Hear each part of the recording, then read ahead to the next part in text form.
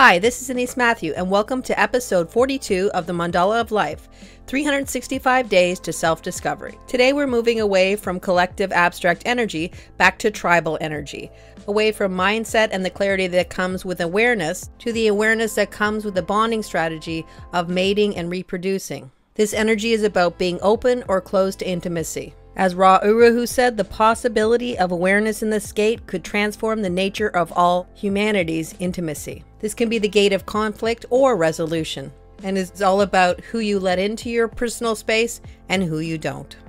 As soon as we move into tribal energy, we know that it's going to be something related to the mundane aspects of life, especially how we survive as a human race. Here it's all about how we reproduce and have more offspring. The Gate 6 is part of the defense circuit, a minor circuit, and yet just because it's minor doesn't mean that it doesn't have a lot of power. This is somebody who has a penetrating aura and will break into orc space wherever you go, even if you're not trying to. It's an energetic that tells people that you're there. This gate has everything to do with the pH in the body and is also considered the diaphragm of the emotional system. In other words, it allows people in or keeps them out. While the gate 59 can be our bonding strategy, it's the gate 6 that decides ultimately if you want to have intimacy or not. This gate is also considered a very important gate in that it is the place where all emotional streams are generated.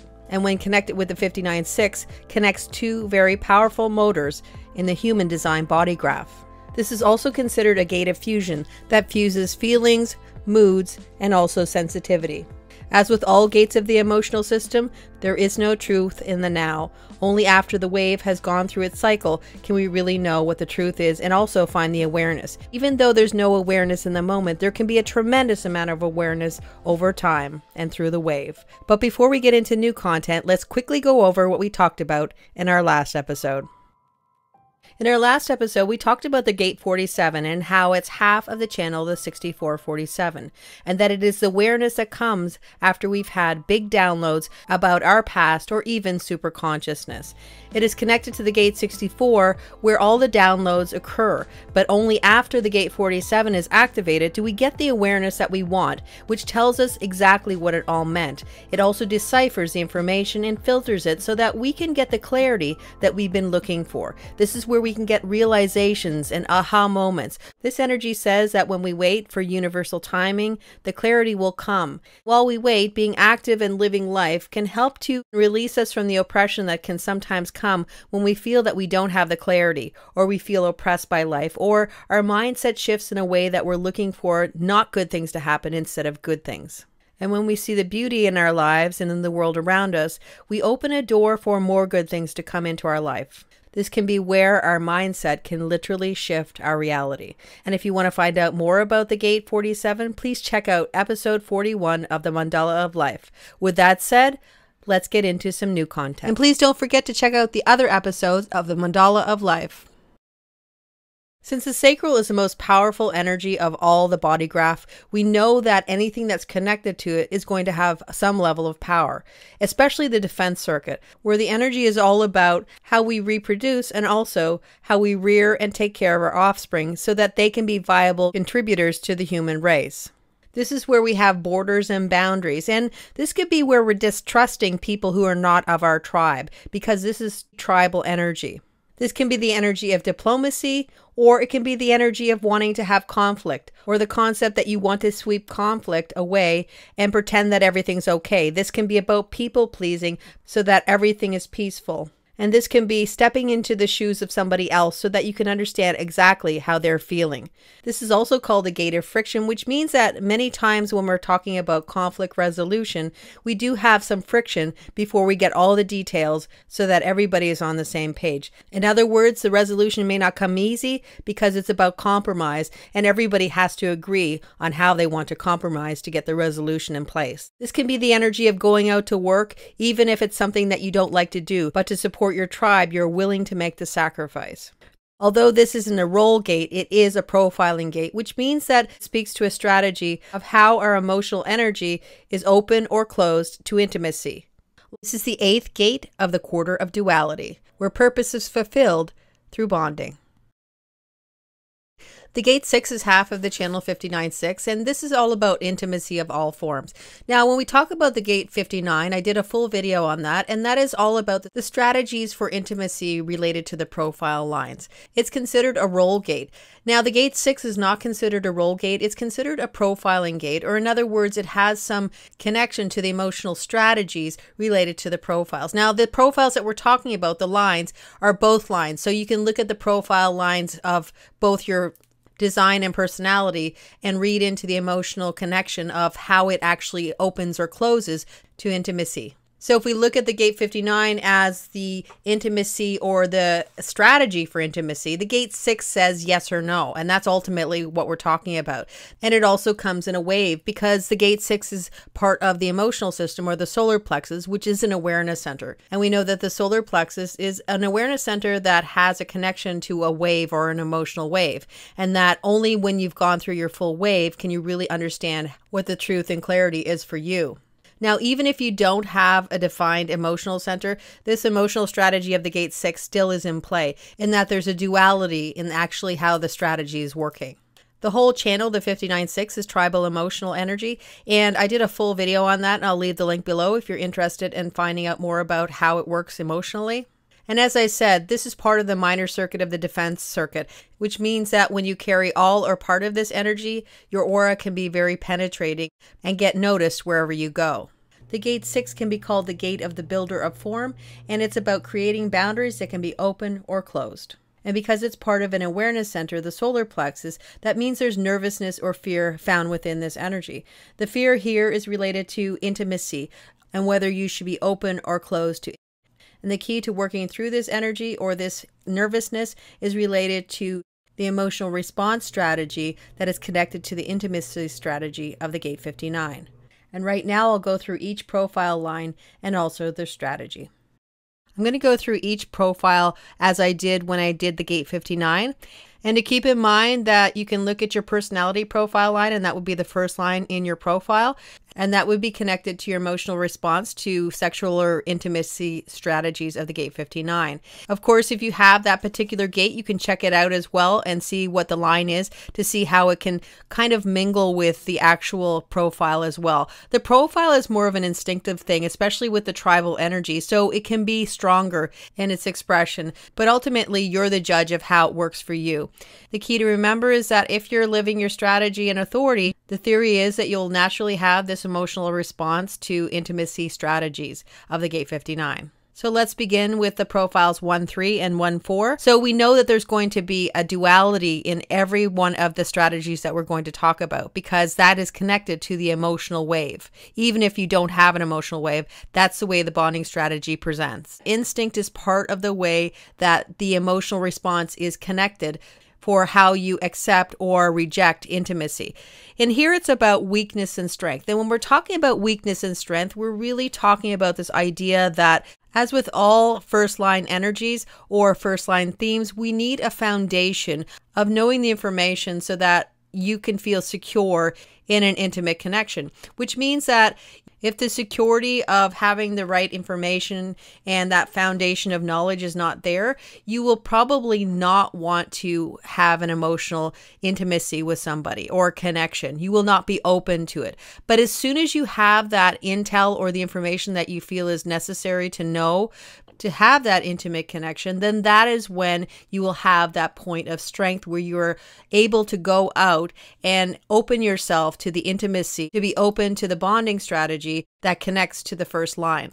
When we get to the second line, we're talking about profiles 2 4 and 2 5. And this is about instinctive energy, or you go on instinct. And this is related to advance and withdrawal. Whenever we get to the second line energy, we know that this is a line of the natural, or it is a line of talent, but it's also a line where you're called out. And that's how it works best for you which means that if you're called out or somebody wants to become intimate with you, then that means that you have an ability to advance, which means you go and go out on a date with them or you have some intimate connection with them. That means you're open.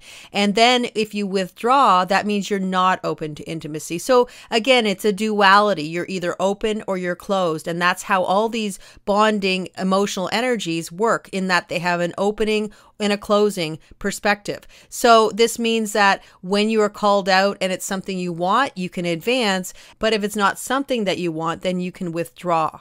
The key here is not to rush out based on inspiration because it may not necessarily work out in an intimate connection for you as you had hoped for. The withdrawal can also be this idea that it takes some time for somebody with a second line or the line of the hermit to actually take somebody into their space or to become intimate with them because it is all about this unnaturalness to have another person coming into your space because naturally this is about wanting to be a hermit, wanting to be alone. So that is why we have the advance and we have the withdrawal. And the withdrawal is important for a hermit because they need their time away from people as much as they need their time with people.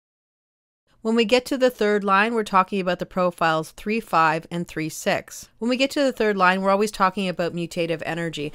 And when you get to the third line of the gate 6, we are talking about a very fertile energy as well. And usually, when this energy can come together with a gate 59, there's potential for a lot of fertility. And that doesn't necessarily mean it's just to have children, it can be fertility in projects anything that is coming into being, anything that is being created. There's potential to want to have intimate connections with people who have something that is foreign to you, something that is not of your same culture, genetically different, a genetic pool that is quite different than yours type of thing. And that's where we know that there is this idea of needing to have mutation or new blood in the tribe, you could say.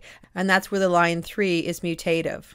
This is called alliance and disconnection. So, what this means is that when you have the third line energy, there's a need to have a disconnect from a relationship as much as there's a need to have a connect. Again, we're talking about duality where we have something that you're coming together with somebody and then you're coming apart from somebody. It doesn't sound like a good thing, but ultimately, what it means is that having your own space and having this ability to come away from a relationship, even for a temporary amount of time, and and then reconnecting is very healthy for anybody with a third line energy. That means something as simple as having your own space that you can get away from the person that you are intimate with. It also means that you need to get out of somebody's aura so that you can sort of recharge yourself and be in your own space so that later you can go back and be with that person again. When we get to the fourth line, we're talking about the profiles 4 6 and also 4 1. And this is all about social connections, as we always know. It's always the line of the opportunist, which means that the intimacy, emotional energy is related to somebody who's in your social group. Friendship is always essential before you move on to a more intimate connection. This is always about the right people and the right opportunities going hand in hand. This energy is about being accepted for exactly who you are. Being very fixed is part of the energy of the fourth line. The fixedness of the fourth line is the influence of the fourth line because when you stick to your themes and people like those themes, then that's when things will work out. And when the themes that you carry with you and your fixed nature are not connecting with somebody else, then that intimate connection is not going to be somebody for you. It's all about being exactly who you are, having the fixed nature that you have, and those who are accepting of it are your people or your social group, and all the rest are outside of your social group. So there's a duality of the people that are in your social circle and the people that are outside of your social circle. And because the person that you're going to be intimate with is usually within your social group, then that means you know more information about them as well, which speaks to the foundation of friendship before intimacy with your particular profile. The key to remember is that the secret to a long lasting relationship is always about friendship first. When we get to the fifth line, or the profiles 5 2 and 5 1, and we know that any fifth line energy is always going to be about projection. In other words, that you are in a projection field where people are looking at you and expecting something from you specifically. When you're in the correct projection field, that means that what you have to offer is exactly what people expect from you as well. When you're not in the correct projection field, then that's when people expect things from you that are not true to who you are. This is also the energy of universalization or this ability to give a practical expression of things that are important to the world. And what you have to give is specific to exactly who you are. As much as it's easy to connect or make relationships happen when you have the fifth line energy because it's such a projected energy. Actually knowing what to do when a relationship has happened can sometimes be something that you need to take some time alone to be with the energy, to be with your process, and kind of figure out what the relationship means to you and also what the practicality of the relationship can be in your life. And that's the key with the energy of the profile line five. It is about this practical expression of exactly what the relationship means for you. Also, understanding if you are in the correct projection field so that everybody's on the same page and there's no unexpected projection for things that are not part of exactly who you are. When we get to the sixth line, we're talking about the profile 6-2 and also 6-3. And this is related to the standards that we set for ourselves and for others. And many times with the six line energies, there's this seeking of perfection and also a wisdom that can come after a person has gone through the three stages of the development of the sixth line.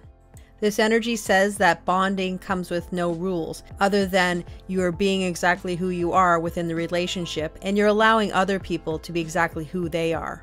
And when that happens, there's no disharmony. Everything is connected, and people can be who they are, and the relationship can be as it is. This says that all life is sacred and that everybody has a right to be who they are. So it's being open to being your authentic self and to potentially be closed when you have to conform to somebody else's ideals and not be able to be exactly who you are. The bottom line is is that when we are allowing other people to be who they are and we're being exactly who we are, conflict is never something that needs to happen. When we've learned the emotional strategies that allow us to be open or closed to intimacy, then the mandala of life turns again and we move into the energy of serendipity. This is the gate 46, the gate of pushing upward, the gate of the determination of the self, where being in the flow of life can have magical results. Well, that's all for now, and I'll be back soon with episode 43, The Gate 46, The Gate of the Love of the Body. Until then, take care, and I'll see you again soon.